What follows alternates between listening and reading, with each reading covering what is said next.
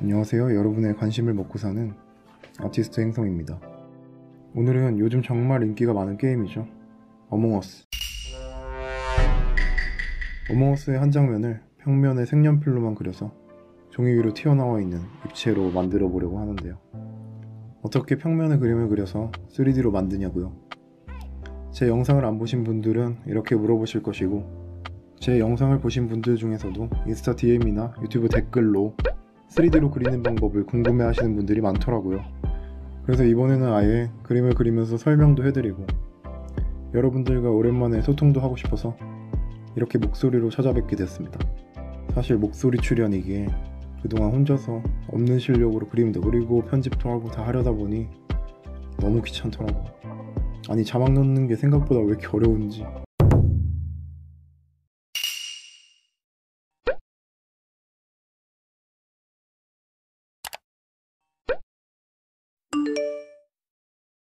간만에 여러분들과 대화를 하려니 너무 신이 났네요. 원래 컨셉대로 조금만 차분하게 가도록 하겠습니다. 저는 머릿속으로 복도 끝자락에서 임포스터가 몰래 선량한 시민을 무참하게 살해하는 모습을 어느 다른 시민이 엿보는 장면을 상상했습니다.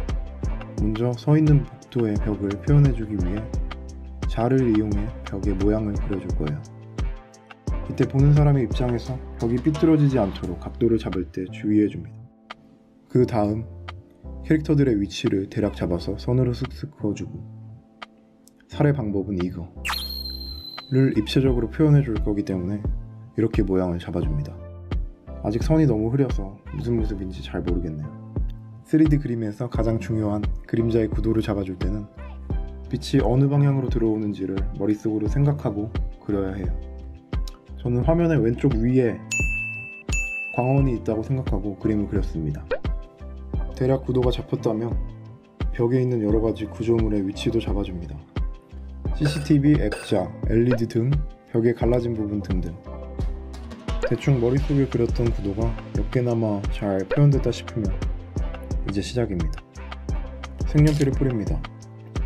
왼편으로 깔끔하게 정리해놓고 사도 사도 매일 부족한 검정이를 먼저 꺼내듭니다.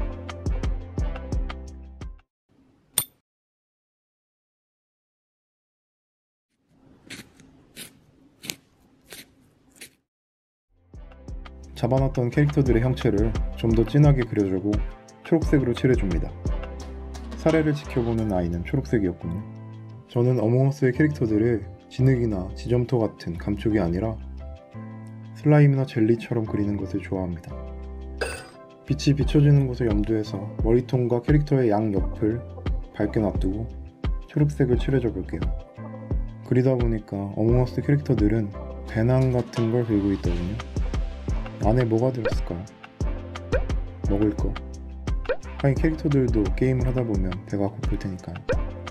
아무튼 이 도시락 가방 역시 빛을 잘 고려해서 색을 칠해줬다면 이제는 다시 검정이를 들고 반대로 빛을 덜 받는 부분을 칠해주시면 됩니다. 앞에 글라스 부분도 이렇게 잘 표현해주시고 틀리면 다시 그린다는 쌍남자 상여자 마인드로 과감하게 어두울 것 같은 부분을 터치해줍니다.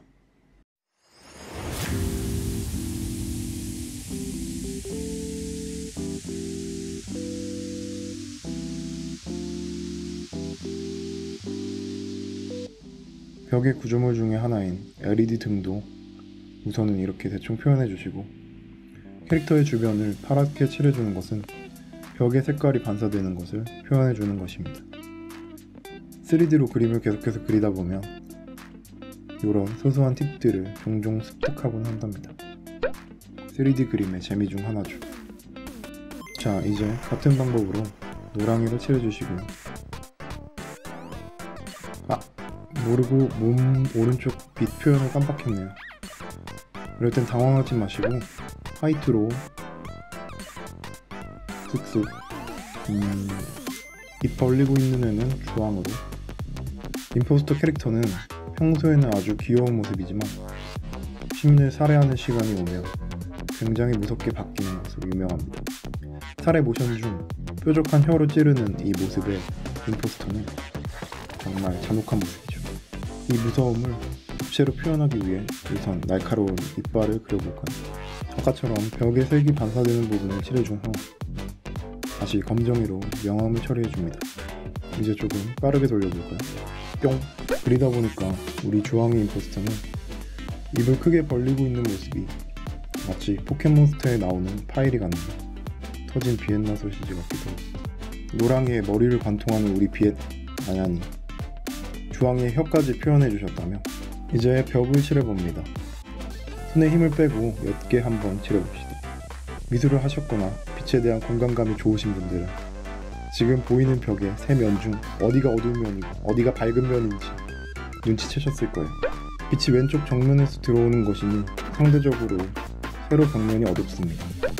맨 뒤의 벽은 앞의 벽과 평행으로 나란하니 똑같이 옅게 칠해줍니다. 아, 잠깐. 처음에 구도 잡을 때 그렸던 CCTV 어디 갔나? 그림을 그린다는 것은 그 그림은 순전히 자신의 것이기 때문에 그때그때 생각나는 대로 수정할 수 있다는 아주 크나큰 장점. 다시 검은색으로 벽과 캐릭터들의 그림자를 표현해줄까요?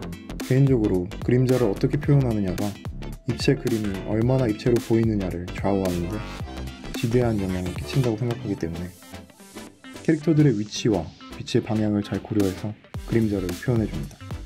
벽면도 부드럽게 다듬어주고 어두워야 하는 세로벽과 그로 인해 생기는 그림자들도 이런 식으로 표현해줄 수 있습니다. 그림자가 들어오면서 점점 입체적인 모습으로 보이기 시작하는데 머릿속에 상상했던 그림이 이렇게 종이로 표현될 때 저는 정말 기분이 좋더라고요. 이제 벽에 난 틈도 검은색과 흰색을 조합해서 이렇게 그려주시고 빈 곳이 없도록 마무리 작업을 섬세하게 해줍니다.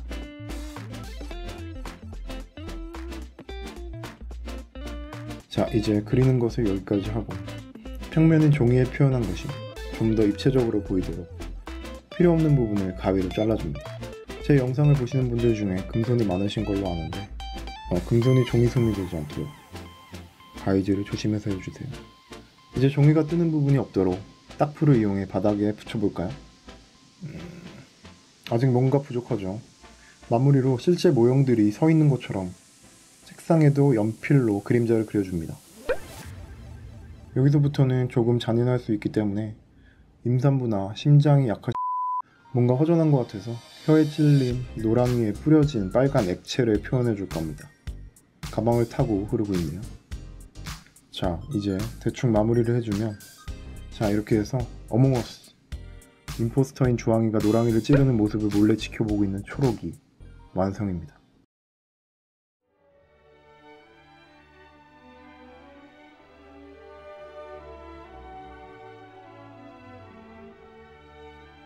3D 아트의 비밀은 지금부터입니다.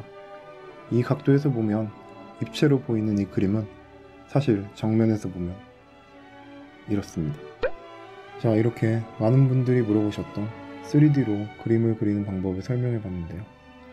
집콕 취미가 각광받고 있는 요즘 같은 때에 색연필로 3D를 한 번쯤 그려보는 것은 어떨까요? 저는 더 좋은 영상과 작품을 가지고 찾아오겠습니다. 재밌게 보셨다면 구독과 좋아요, 알람 설정도 잊지 마시고 지금까지 여러분의 관심을 먹고 사는 행성이었습니다.